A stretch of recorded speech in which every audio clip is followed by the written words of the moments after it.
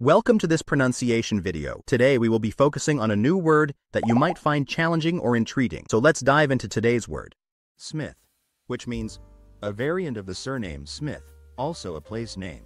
Let's say it all together. Smyth. Smyth. Smyth. One more time. Smyth. Smyth. Smyth.